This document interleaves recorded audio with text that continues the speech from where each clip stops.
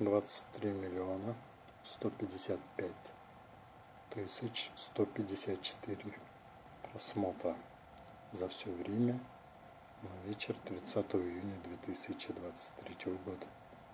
И в этой цифре три пятерки, и единички, ну, там четверка, если еще, то было бы четыре пятерки. Ну ладно. Снимается широкоформатно для плейлиста. Это по развитию моего канала на YouTube 2.